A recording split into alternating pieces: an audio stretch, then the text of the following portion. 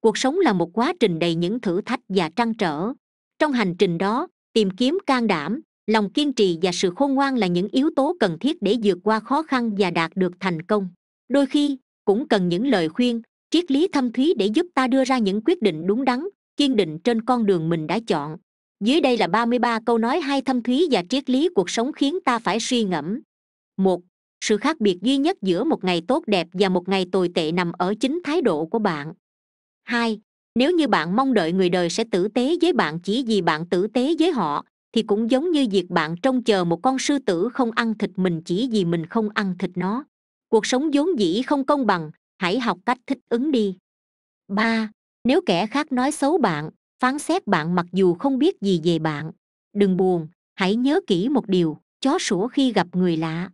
Bốn, nếu có một ai đó làm chậm bước chân của mình, hãy nhẹ nhàng rẽ sang hướng khác người không biết quý trọng mình không đáng để mình tiếp tục cho đi tình bạn hoặc tình yêu gì cuối cùng người bị tổn thương nhiều nhất sẽ là mình mà sẽ không có ai xót xa cho mình năm, giống như hoa dại, hãy học cách sinh tồn trong mọi hoàn cảnh khắc nghiệt nhất, ngay cả khi người đời cho rằng bạn không thể sáu, cuộc sống chính là một sàn diễn lớn, diễn viên chính hay phụ chẳng qua chỉ là tên gọi mà thôi, vì mọi người chỉ quan tâm đến kỹ thuật diễn của bạn, đương nhiên rất cần bạn đem sự nhiệt tình đến cho họ 7 đừng bao giờ giao bí mật của bạn cho một ai, bởi vì, từ bạn còn không giữ được thì còn trông mong vào ai kia chứ 8.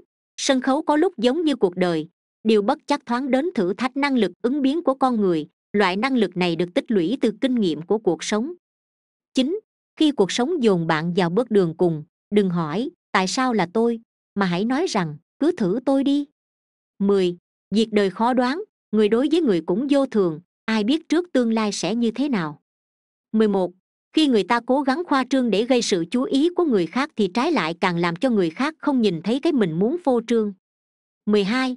người có kiến thức thì đi biển mới biết thế nào là sóng yên, gió lặng người có kinh nghiệm qua gian nan và nguy hiểm mới biết bình an là đáng quý 13. hãy nhìn xa một chút, đừng nhìn vào những thứ phát huy tác dụng ngay tức thì những vật có tác dụng to lớn thời lúc mới xuất hiện tưởng chừng như vô dụng 14. Mỗi khi bạn muốn tìm một người thay đổi được cuộc đời bạn, hãy nhìn vào gương và người bạn nhìn thấy trong đó chính là người bạn đang tìm kiếm. 15. Chim yến sao biết được chí của chim ưng? Đối với người suốt đời cống hiến cho sự nghiệp vĩ đại, ngoài ngưỡng mộ ra, bạn còn có thể làm gì? 16. Người đạt tới cảnh giới cao nhất là những người thường có thể xuất thế, cũng có thể nhập thế. Những người dư tài để làm những chuyện dụng vặt, nhưng không bao giờ để những chuyện dụng vặt trói buộc mình. 17. Nếu ngày mai có phiền nào, thì hôm nay bạn chẳng có cách gì giải quyết nổi. Mỗi ngày đều có một bài học ý nghĩa, hãy học tốt bài học đó rồi tính tiếp. 18. Nếu muốn tách khỏi thể gian, e rằng rất khó, chi bằng tự mình tu dưỡng tâm hồn để đạt đến sự thanh thoát, tĩnh tại. 19.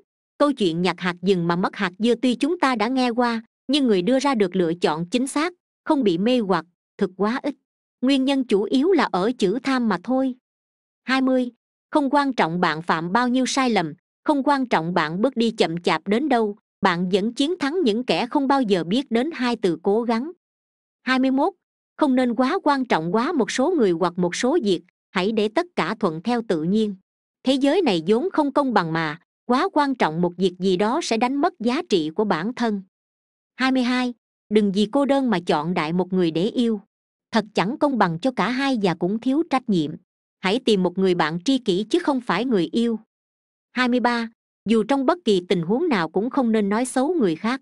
Nếu bắt buộc phải nói thì nói dài lời tốt đẹp.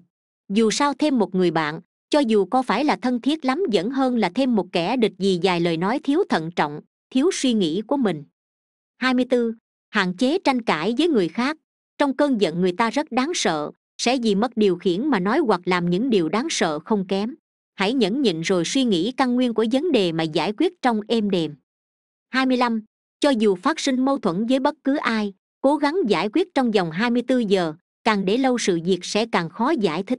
Nếu trong phạm vi chấp nhận được hãy xin lỗi trước. Ngẫu nhiên làm người xấu trước cũng có phải là việc quá tệ đâu. 26. Nếu bạn muốn có được những điều chưa bao giờ có, thì hãy làm những điều bạn chưa bao giờ làm. 27. Đừng nhầm lẫn tính cách tôi và thái độ tôi tính cách của tôi nói lên con người tôi, còn thái độ của tôi tùy thuộc vào con người bạn 28. đừng bao giờ hối tiếc những gì đã xảy ra trong quá khứ, vì thời điểm ấy, đó chính xác là những gì bạn muốn 29. lo lắng chính là điều vô bổ nhất trên đời nó giống như việc bạn cầm một chiếc ô và chạy vòng vòng đợi trời mưa xuống 30. nếu người khác tôn trọng bạn, hãy tôn trọng họ nếu họ không tôn trọng bạn, vẫn cứ tôn trọng họ đừng để hành động của người khác ảnh hưởng đến nhân cách tốt đẹp của bạn bởi lẽ bạn chính là bạn chứ không phải là một ai khác 31. Đại dương mênh mông sẽ không thể đánh chìm một con tàu nếu nước không tràn vào bên trong nó. Cũng tương tự như thế, những khó khăn sẽ không thể quật ngã bạn nếu bạn không cho phép chúng làm thế. 32. Cuộc đời chỉ có một, vì thế hãy làm những gì khiến bạn hạnh phúc và ở bên người khiến bạn luôn mỉm cười. 33. Đôi khi, không phải là một người đã thay đổi, chỉ là mặt nạ của họ đã rơi xuống mà thôi.